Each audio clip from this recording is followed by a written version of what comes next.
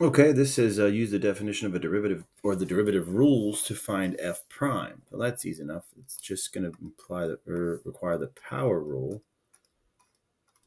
So we have f prime of x is equal to, bring down the power, that's 3x squared, uh, plus we have 9x, bring down the power, that's 18x, minus 120. Okay, so that's our derivative. So now it wants us to find the second derivative. That's easy enough. Apply the power rule again. Bring the 2 down. We have 6x plus 18. So then this says, for the next part of the problem, use closed interval notation to enter your answers. Closed interval notation would just be brackets separated by a comma. So on what intervals is f increasing, or more specifically, non-decreasing? So we need to figure out for what values is the derivative zero, because where the derivative is zero, I know the function is going from increasing to decreasing, or vice versa, decreasing to increasing. So I'm going to set this first um, derivative equal to zero. Let's pick a different color. So if I set this thing equal to zero, um, I'm going to start by factoring out a 3. So I have 3 times the quantity, x squared plus 6x minus 40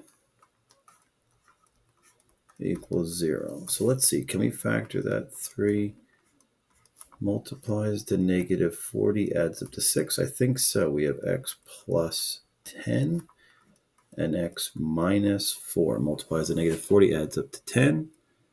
So if I solve this, I get x equals negative 10 or positive 4. So to figure out which one of these is a min or a max, or if they're neither at either one of these things, I'm going to write or draw a number line. Oops, this is really delaying. There we go. So I have negative 10 and I have 4. So pick a number less than negative 10. Let's say negative 100. I'll plug it into the derivative, see if I get a positive or a negative. Negative 100, this will be a negative. This will be a negative. Negative times the negative is a positive. If I plug in a value between the two, let's say 0, I'll get 3 times 10 times negative 4. That's going to be a negative number. If I plug in a positive number, let's say positive 100, I'll get a positive times a positive. I'll get a positive. So it looks like at negative 10, my derivative is going from positive to negative. So my function, the graph of the function is going from increasing to decreasing. And at 4, it's going from negative to positive, so my function is going from decreasing to increasing. So we have a max at negative 10, a minute negative, I'm sorry, a minute positive 4. So this says on what intervals is f increasing? It's increasing where the derivative is positive, here and here.